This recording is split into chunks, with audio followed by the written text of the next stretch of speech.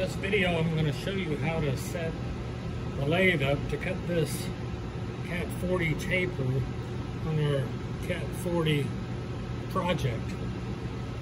So the first thing we want to do is to see what taper we need. Uh, it looks like the drawing says about three and a half inches per foot.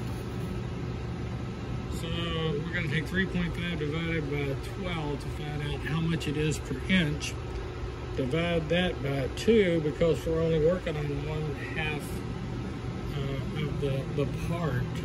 Then we're going to divide that by two. That way we can find out what it is per half inch. Five revolutions of the indicator should be about 73 thousandths. So what we're going to do, we're going to set our machine up like this. We've got an indicator on the compound rest. Compound rest is setting at about eight and a half degrees you can look right here, you can see it's roughly eight and a half degrees. You probably can't see it on the video.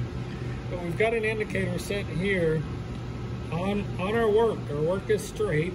And then we've got another indicator in a straight line movement from the, the compound. So when the compound moves straight, not at an angle, but when it moves straight, and five revolutions, we should have 73 thousandths on this indicator here. So I'll run it through the motions and let you see what we do. We go one round, two rounds, three rounds, four rounds, and then when we get to five rounds, we're right about 73 thousandths there. And that'll get us right on the money because we are going to put it on the OD grinder in the back and clean that up. So this is how we're going to set the machine up to cut this Cat 40 taper on our tool, uh, Cat 40 tool holder. Now, we're gonna do, obviously we're gonna do this in first. We wanna machine all of this first. Uh, we'll machine this diameter two and a half, this diameter, put the 45 on it, and we've got a tool to cut that groove in there.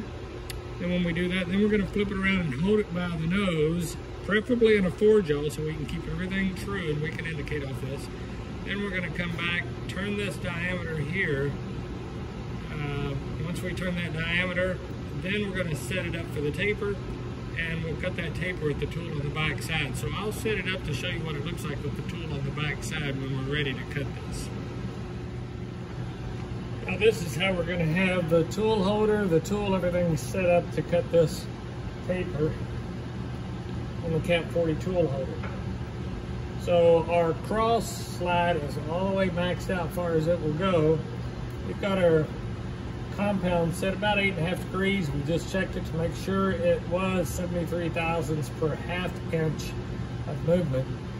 Um, so now we're going to cut the taper, but we're going to have the tool set up just about like this. We're going to run the machine backwards. Don't forget, it's, got, it's not going to come this way. It's going to go backwards. We're going to cut on the back side. Uh, but unfortunately, we're going to have to be doing a lot of cranking like this. So you can see it moving in and out right here. So this is how we're going to cut that taper on it. So I'll leave this machine set up for you. I'll do you a big favor. So you'll have the tool post set about like this. We may have to move it around and if we get too close in here.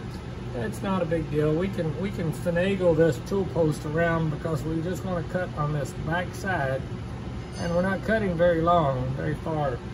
But that's how we're going to cut this taper on this. Okay, so this is how the setup is gonna look.